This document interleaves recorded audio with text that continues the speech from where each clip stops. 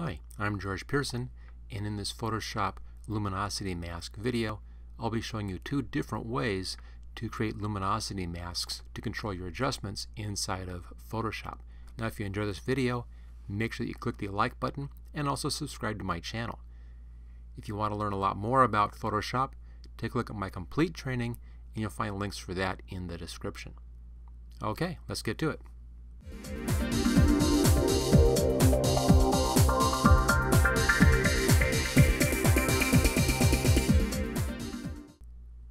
A Photoshop luminosity mask sounds like it's a very tricky thing. It's actually very easy to do, and I'll show you two different ways of getting to this.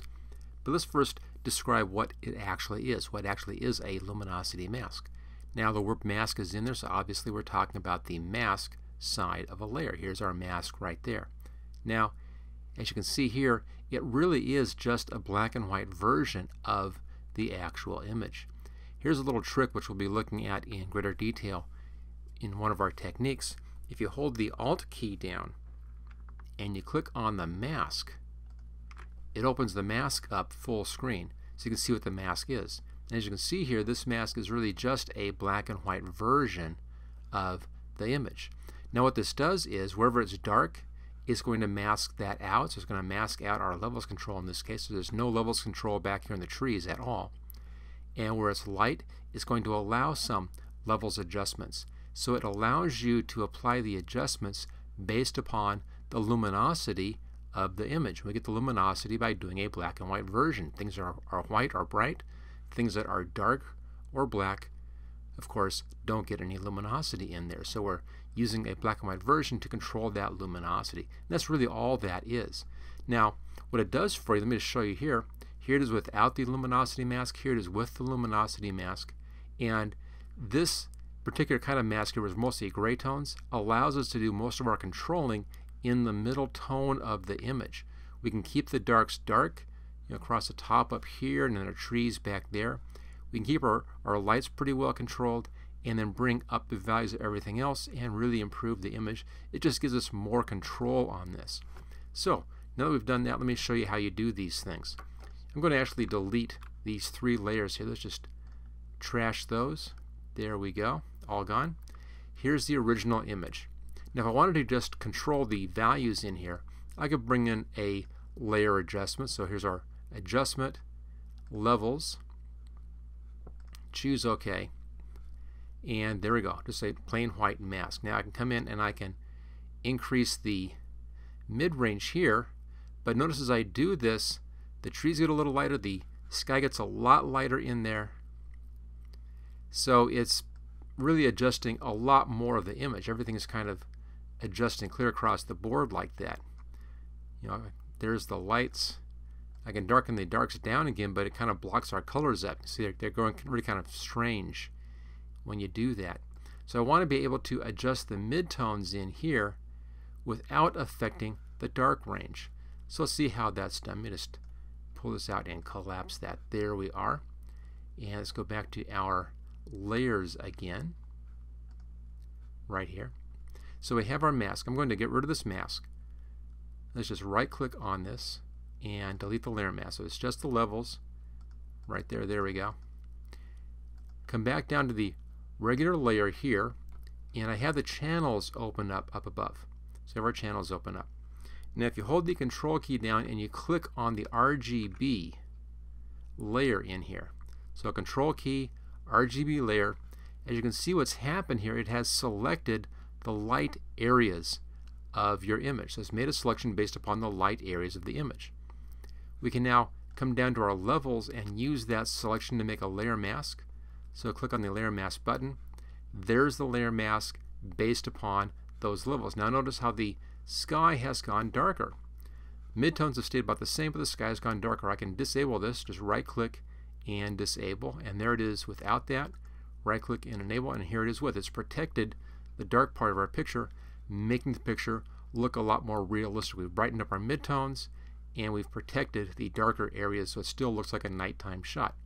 If I double click on my adjustments in here you can see I can now have a lot of control in the midtone in here but the darks are staying nice and dark. They're protected by that luminosity mask.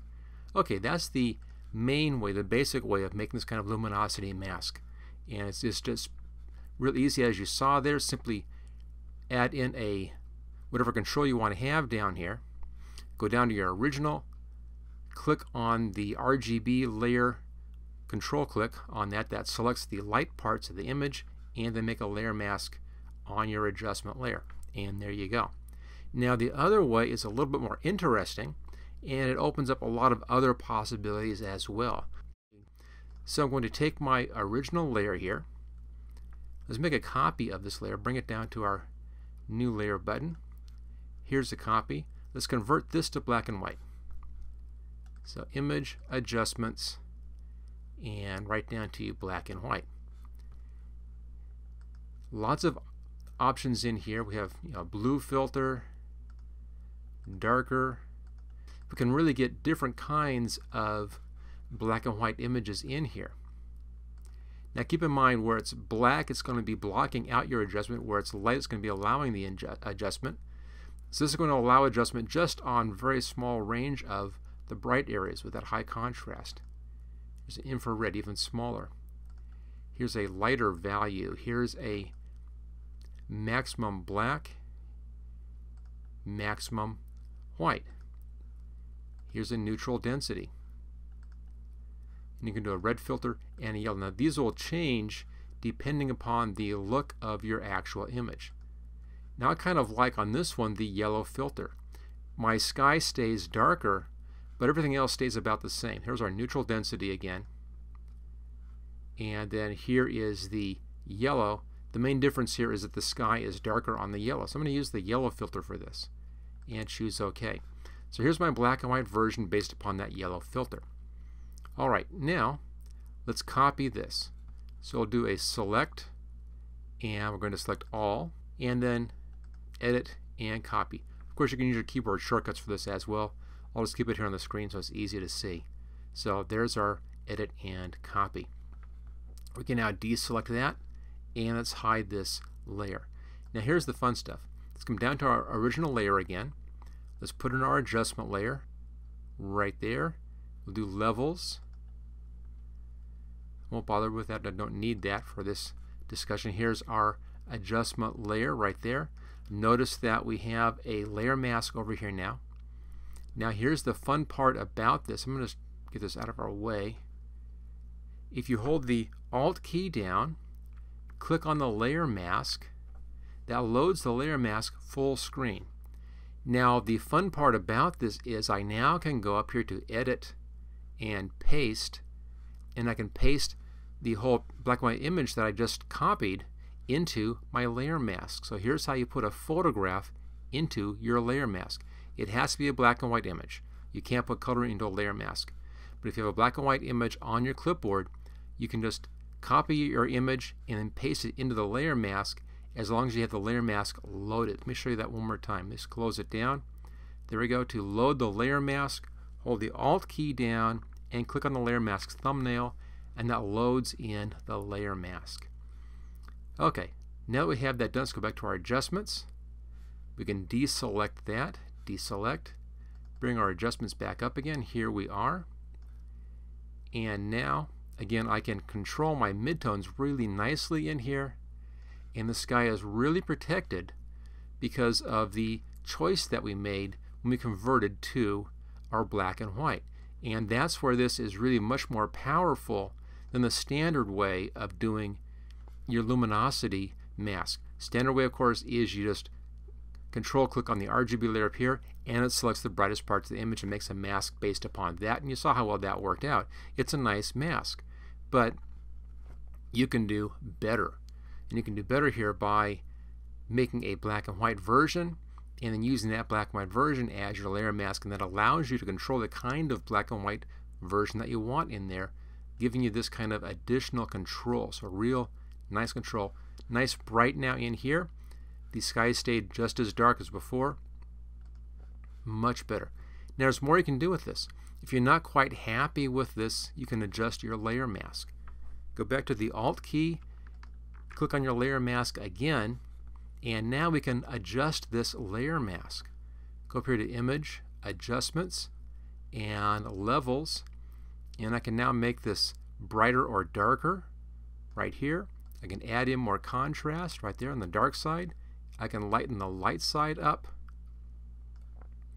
So I have complete control now of this layer mask. There we go. Just by controlling and editing this side. By loading this in full screen, we can then do all of our centered edits right on that. And there we go. Here's our nice cleaned up version. Let's see how these compare. There it is using the regular layer mask technique, the regular luminance mask technique. This again was one where we hold the control key down and click on the RGB channel and use the selection to create our layer mask. And here it is with our new manually made layer mask with more con control and adjustments. Notice how much richer our image is here, how much more contrast we have in here than this version. I mean, this is nice. It's a nice way to go, but this is better. This has more contrast. Our darks are darker. We have more control over that based upon having that ability to choose how we want to convert to black and white and then use that for our luminosity mask. So there you go two different ways of making luminosity masks, finishing off here with my preferred way. Any other real big tip, you should memorize this one. Hold the Alt key down, click on your layer mask, loads the layer mask full screen, allowing you to edit directly on your layer mask very, very easily. Go back to the other side, and that goes back to normal view. So there you go. That's working with Photoshop luminosity masks. Thank you for watching my video. I hope you found it useful. If you like this video, click on the like button below to let others know. You can click the subscribe button so you don't miss any of my videos in the future. I'm frequently uploading new training videos. Don't forget to check out my website at howtogurus.com.